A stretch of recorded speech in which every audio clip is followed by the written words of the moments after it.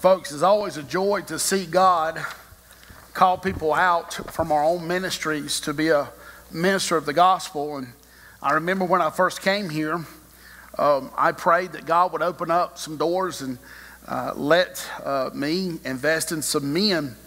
And uh, I kept um, we, I, I, kept seeing Richard, and God kept saying, "You need to talk to him." And I said, "Well, he he he don't look like someone that really wants me to be his friend." Um, you know, he just kind of stone faced, you know. And I didn't know how he would take it, so I felt like a little kid when I went up to him. I said, Richard, I, I would like for us to be friends and, and to invest in you. And if you would be okay with that. And over the last three years, we have become very close. And I have seen him go from a man that knew of God and desired a relationship with God to being a man that becomes the example of other men. I'm not saying he's perfect, none of us are. But I've seen a man that strives every day to be closer and to be more Christ like. And that's what the Bible asks of each of us. So it's always good when we see God calling people out. There's other people in our church that are young, much younger and, um, than me and Richard. And God's dealing with them, and they're going to Bible schools and seminaries. And I look forward to the day where we recognize them as missionaries and pastors and ministers of music in whatever capacity God has for them. So it's an exciting time. If you're turning your Bibles this morning to 1 Thessalonians 1, 1 Thessalonians 1, I'm going to be talking about the church's testimony. Now, folks, the testimony is a pretty powerful thing. It sums up so much of who and what we are as far as it comes to being believers in Christ. So I looked up the definition just so we would have a working definition of what is a testimony. What is a testimony for each of us? And it's simply this evidence testifying to something. It's an evidence testifying to something. Now, as you can see, every one of us in this room has one. Every family in this room has one. Every ministry in this church has one. And our church family as a whole has one. We all have a testimony. Now, whether it's good or bad, whether it's beautiful or ugly, there's not a soul in this room that doesn't have a testimony in Jesus Christ. So I, I, want you to truly pay attention to what I'm sharing with you today because I want it to mold you, to shape you, and to challenge you, especially when it comes to this church and this church body. I would ask you this what do you think people would say of you as a person? What would people really say? Have you ever wondered that? What would you what would be your testimony as a Christian believer? It was popular a few years ago when we say, Could you be convicted as a Christian if your testimony was your witness? Could you? Would people acknowledge that you are truly a believer in Christ? Not to your, not to your face, but I'm talking about to the world. It's amazing um, what we'll say to others when they're around and what we'll really say to others when we're not. And how would your testimony stand in light of others? This morning we see in our text that Paul is writing to the church of Thessalonica. Now, this church is a very impressive church. Matter of fact, in the first few verses, verses 1 and 2 that we're going to read, it gets high praise and high regard. There's something about this church that stands out and something that makes it quite different. And I think there's some things that we can learn from it. And, and folks, I'm here to tell you when uh, this is one of those uh, sermons that some people are going to go away feeling happy, and some people are going to go away and you're going to have roasted pasture for lunch. You're going to think that I'm being mean, and, and I'm not. I'm challenging you, though. But I think there's some things in our text today that our church need to glean words of wisdom from and absolutely reflect in the way we are. So, with that being said, let's read our text. Paul, Silvanus, and Timothy to the church of the Thessalonians, and God the Father and the Lord Jesus Christ, grace to you and peace.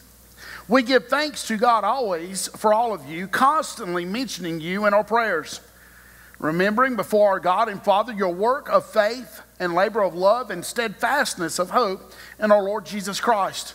For we know, brothers, for we know, brothers, loved by God, that He has chosen you. Let us pray. Father, that you would choose us. What does that mean? What does that look like to a lost and dying world? Father, I pray that we would be astute to what's being shared here today because, Father, I believe it needs to be said amongst our church and every church. For God, there are things that need to take place, and God, Paul has shared them already with us. So let our hearts and minds be open. Let us be ready to give an account of our testimony in a way that will bring honor and glory to you. So, Father, as always, uh, don't let me mess it up. Lord, don't let my personal passions oversee your personal will for this message. And we'll praise you for all things. In Jesus' name, all God's children say, Amen. So the Thessalonian church was one of great example. Is one that a lot of people knew about. Matter of fact, if you read verse 8, it says this For not only has the word of the Lord sounded forth from you in Macedonia and Achaia, but your faith in God has gone forth everywhere, so that we need not say anything. Folks, there's a lot we can learn from what's being said here about this church. And, and I want to challenge us today. Is it's the same set of Del Norte Baptist Church. Many times I say stuff like in all other churches and all the churches in America, but folks, I want us to focus today on Del Norte Baptist Church. And do we reflect the testimony of the church that's talked about in Thessalonica? Amen. but my, but, I've never heard anyone say I'm sorry out loud. Okay. um, but here's the thing, folks. Where, where do we stack up with what we're going to be learning today? Where do you stack up? You see, if we're not careful, we're going to walk in and we're just going to listen to a sermon. We're going to walk out. And the reason we're suffering in churches in America today, and honestly, even in our own church in some places, is because we don't understand what a real church's testimony is and how we play that role. The meat of our text this morning is found in verse 3. Remembering before our God and Father your work of faith and labor of love and steadfastness of hope in our Lord Jesus Christ. The testimony of church is one that's found with faithful works. What does Paul mean when he says your works of faith? Paul's addressing the one thing as believers that push us forward, and that's our faith. Folks, somewhere in the church, somewhere along this path, our faith has grown weak. It doesn't burn like it once did. I put some um, on Facebook this past week from W.A. Tozer. I'm reading through his works and his books. If you've never read them, don't read them unless you want to reflect on yourself of where you're not with God. But it says the reason most people don't look to God for answers is because most Christians have already decided they're not going to listen anyway. But yet we find here a church has faithful works. Is a church that had no guarantees. It had no guarantees that everything was going to work out. It had no guarantees that everything they did was going to work and be perfect. All it was known was a church of faithful works. Works, matter of fact, I, I wrote it this way it was a strong faith that stirs, arouses, and activates and energizes believers to work and carry out the mission of Christ. It's a faith that helped them proceed to the climax of accomplishment. Does your faith stir your heart anymore? Do we, do we do things for God because listen, we, we say, I have faith that God's going to move. I have faith that God's going to touch. I have faith that God's in my life. And it pushes us to the brink of places we've never been. I, I love the song. Um, I don't never can remember the title. Might be Oceans, but it's Take Me Farther Than I've Ever Been. Let my feet go deeper than they've ever been. Do we have a faith that pushes us to a point that we're out of our comfort zone? This church did. It did things so much so that it was known all around the land. Do people know of Del Norte Baptist Church, not only in this community and city, but in New Mexico? Do we walk in such a and have such faithful works that others say that is a good example? Now we have been blessed. We've got many people that have visited and even joined other, other uh, communities from around the state. Uh, many have left and they're moving to Albuquerque for work. And they've come and I ask them, I said, What brings you to Del Baptist Church? And this is what they say they say, Well, our pastor from wherever we come from said that if we were going to go to any church in Albuquerque, that we should come to Del Norte Baptist Church because God is doing something at Del Norte Baptist Church. And I want you to know something, Pastor. We could not wait to get here. Folks, I'm proud to say that God's doing some great things here, but He's not done, and we must continue in our faithful works. And I'm afraid over the last three years that we've accomplished so much in the name of Jesus that some of us are getting a little bit like a lackadaisical in our efforts. After three years, we're starting to say, well, we can cool our heels and we can kind of kind of get a little bit uh, lax in our efforts. And my friends, that's wrong. I've seen churches do this time and time again. They begin to not be faithful with their works anymore. They begin to lay out of the ministries that they're so desperately needed to be in. This church was known greatly because of what it did. I challenge you. Is Del Norte known as a church with faithful works? Or are we a church known that had faithful works? We must be careful. 1 John 5, 4 and 5 says, For whatsoever is born of God overcometh the world. And this is the victory that overcometh the world, even our faith. Who is it that overcometh the world but he that believeth that Jesus Christ is the Son of God? Folks, you're needed. Your faith is needed. You say, well, Pastor, I'll be honest with you, the music doesn't move me like it once did. And I love you as a pastor, but I'm not getting much out of your sermons either anymore. That's okay. But here's where I would challenge you. Where did the world become so much of a part that we began to judge the ministries that we're a part of? You know what? We may not be the best in the world. But we give the best we have every day and every week. And if we're not careful, our faith will be judged on the faith of others, and that's not the way it works. The reason this church was so amazing and so unique was because their faith was one of unity. They didn't judge every single ministry and every single person. I've told you time and time again if you want to get your feelings hurt, join the church. You want to deal with judgmental people, come to the church. You want to get your heart broke, come to the church. You say, Pastor, why would anyone come to the church? Because it's a place of help and hope and healing in Jesus Christ. But listen, some people aren't there yet and they can be hurtful. But let me remind you hurt people hurt people. They just need help and hope. And they come and they're looking for people of faith people they can depend on, people they can draw strength from. When people come here, do they see your faith as something that helps anchor them to Christ or something that would push them away? Not only do we see faithful works here, but it's labors of love. You see, it's love that stirs the church to labor. That word labor means to toil, to labor to the point of exhaustion, to arduously labor. It means that one or a body, a church, work to the point that sacrifice and pain are part of the efforts.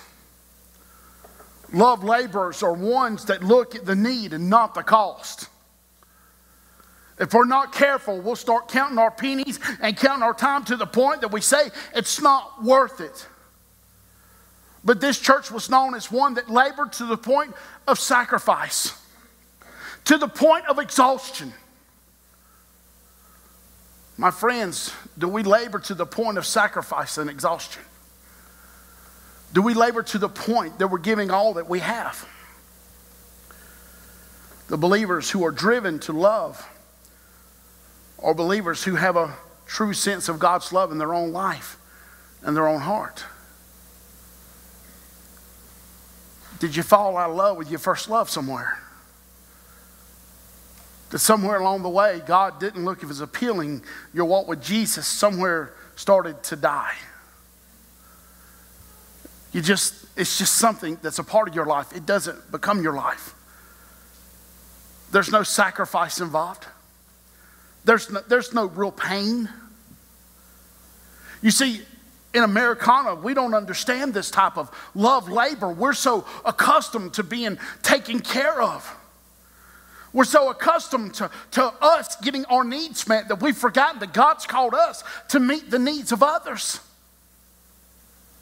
And we don't understand what it means to go out and to give and to sacrifice with our time and our talents and even our ties. We judge what we can do on the time that we want to give, not what God has called. Unfortunately, we fall short. Do you have such a labor of love of the gospel of Christ? Folks, the hurt and the sick aren't coming to churches anymore. Have you noticed that? America's lost hope in the church. You say, How do we know that, Pastor? Look at the empty chairs. Albuquerque, the last three or four weeks it came out, was ranked as the number one city in America to be worse to raise your family in America. Did you know that? We're the number one city in America that you should never raise a family in. We're the fifth most dangerous um, city in America by the ATF to live in.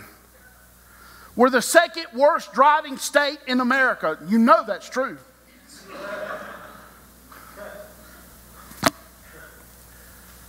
People are hurting left and right. Our, our, our, the crime is in the streets. Uh, man, we're almost compared to Chicago. I know that's terrible. You're from Chicago. I'm sorry. You thought it was going to get better. But, folks, look around. We got empty seats. Why? Because they don't see hope in the church anymore. Why is that? Because they don't see the church having hope in God. We struggle just like everyone else, and, and we don't labor like we should. We don't work like we should. We don't give as we should. Our sin is as great as those without Jesus. And we forgot what it means to sacrifice for the Savior. And for many, coming to, the, coming to church and being a part of the family, it's more of a calendar or scheduled event once a week than it is something we do every day of our life. And we're raising our kids in such a way that we wonder why, why, why, do the, why the millennials not want to come and be a part? Well, first of all, they heard their moms and dads talk terrible about the church and its servants for so long. Why would they want to be a part of it when they had the freedom to choose? Let's be honest, folks, most of the problems we're facing with the millennial generation was our fault. It ain't theirs. They learned from example. Why would you want to be a part of something that all they heard for years growing up when they got in the church was sermon went too long, music wasn't that good, I didn't get my favorite seat, I don't like that translation of the Bible, that person hurt my feelings. Why would anyone want to be a part of such a thing?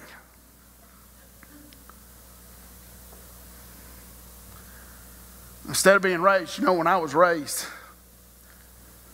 my dad, when we were building, we, we did a church plant.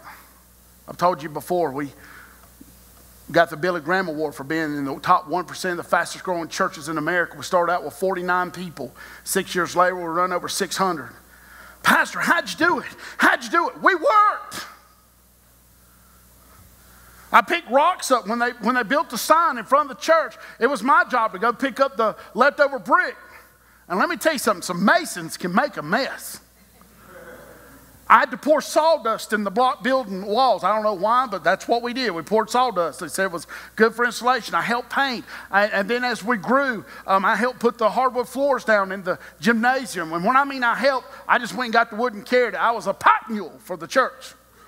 My dad would come home. Let's go. I didn't even think about it. I knew every day my dad was going to have me at the church. Well, let me tell you something, folks. I saw miracles. I saw people healed of cancer. And I saw families that were falling apart being restored. And I saw men that you wouldn't trust with a dime become deacons of the church because we labored for love. Why are churches dying today? We forgot what it means to labor to the point of sacrifice. Our children's ministry needs your help. Our student ministry needs your help. Our sign language ministry needs your help. If you can sing, our choir needs your help. It's half full. Why is my choir half full?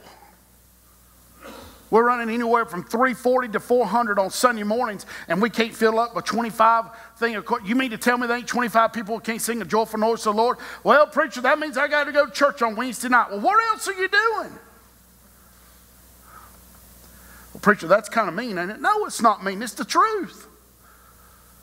90% of the church in America and Del Norte Baptist Church sits in the pew, sits in the chairs on Sunday morning, and that's the most we can hope to get out of them. A lot of them don't even come to Sunday school. Well, that's the one day I get to sleep in. Well, Lottie Daw, I hope Jesus Christ didn't sleep in on the day they decided to put him on the cross. I'm Baptist, I can't make it. Been working all week.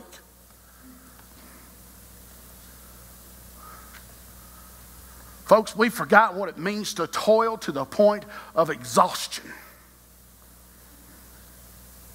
This church was recognized by Paul as some of the greatest of their day as being a church of example, exemplary, because of their faithful works and because of their love for the Lord Jesus Christ. And lastly, they had a steadfast hope. There's several reasons why a person works. There's forced labor. A person is forced to work. This is what my boys would say I do to them. They don't get a choice. I need, I need a grass cut. Maybe later. I said now. I love, like I say all the time, Hannah's been one of the greatest tools in my ministry at home. Son, I need this done. I get it later. No, you won't see Hannah if you don't do it right now. Okay, I'll do it right now. Thank you, Hannah. You have no clue how much help you are. There's a sense of duty. A person feels obligated to work. There's a need to meet necessities. A person has needs that have to be met. You want to eat. You want clothes. Please wear clothes. Some of you probably get away with it. wouldn't be that bad, but the rest of us, please wear clothes. It'd be obnoxious for you not to. And there's a wish to gain more. A person works to build up wealth. But my friends, when we accept Christ, our motive for working changes. We now serve to work for Christ. Our love for Christ and for us stirs us to be steadfast. You know what that means, steadfast? It means you don't just say, I'll go do one thing. It means I'm not done until God calls me home. My generation as a whole has failed. I'm not saying everybody in this room, I'm just saying the generation that I was born in as a whole has failed. We still lean more on those 60 and over more than we should. The problem is those that are 60 and over, well, I've done my time. My friends, we still greatly need you. We need your example. We need your help. We need that steadfast example in our lives because it's not being seen anywhere else. If God took everyone 60, 65 and over in the church today, there'd be far less of the church. Matter of fact, it would take about 70, 80% of the church. We need the example of steadfastness in our lives. Steadfastness means endurance and perseverance. We know that the Lord will guide and provide and deliver and strengthen and sustain and bless. But we must have an endurance. We must have a perseverance. We must be steadfast in our hope, knowing that our reward is to come one day. But my friends, we must walk courageously, knowing that no matter how hard it gets, we're going to push through it. Let me tell you something doing RAs and GAs on Sunday afternoons at 4 is probably not the most exciting thing in the world, but we need men.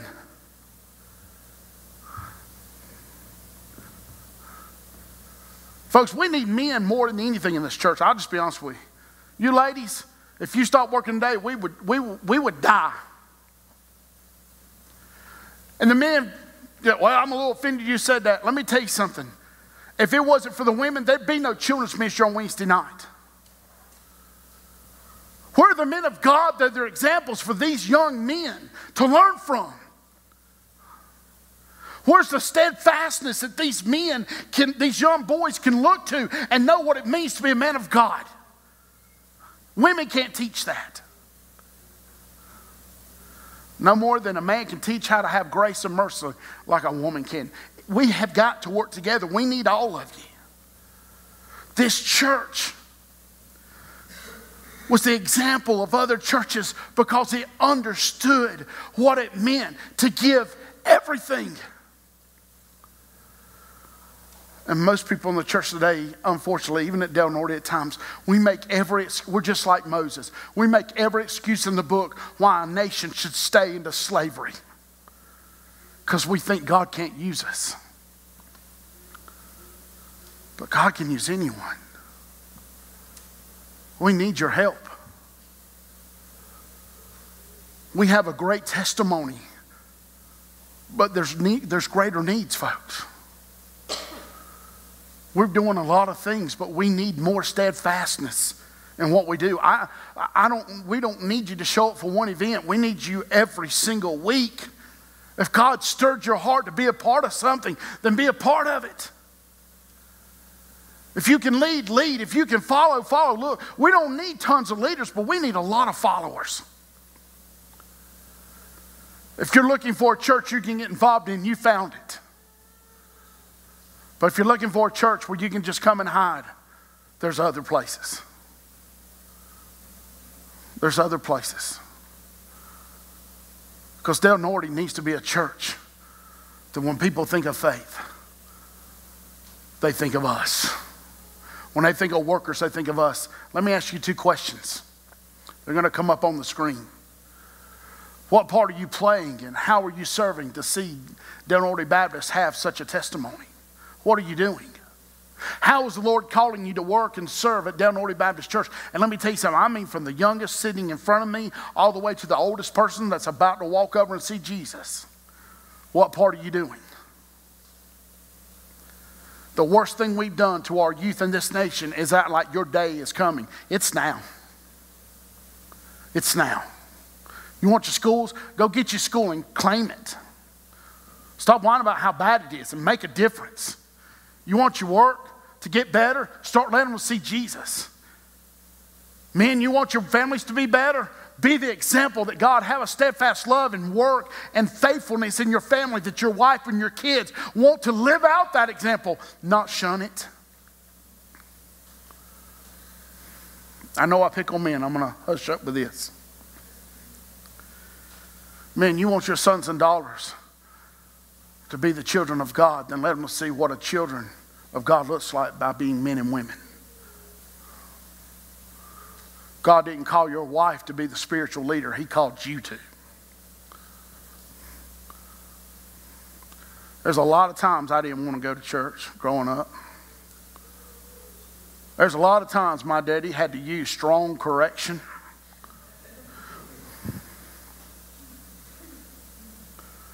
But my dad always came back and said, Son, here's why it's important.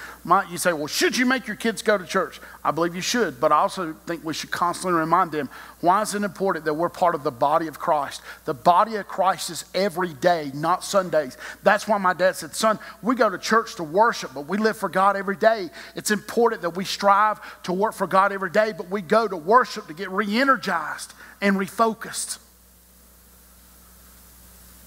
My father made me go, but he made me go with purpose and reason. And that's where we mess up sometimes. I tell my boys, let's go. Oh, Dad, we have to go to everything. First of all, you don't have to go to everything. I go to everything. But your example is needed. There are people here today because they slept in. They ain't here. Their favorite team plays at 11 so they ain't here. Their favorite hobby of hunting took them away and they won't be back for weeks. If we're going to be the church that God wants us to be, my friends, we're going to have to make painful sacrifices. But there's a great reward. There's a great reward, but it's not here. You'll get a handful here. We'll get to see our sons and daughters know Jesus. Maybe you'll get to baptize a friend, or like I did, I got to baptize my daddy. I got to baptize my brother. I got to baptize my two sons. Some of the greatest days of my life. But my reward is when I step across the spiritual Jordan. And Jesus said, You did a good job, son. Come on home. You're done. That's the reward.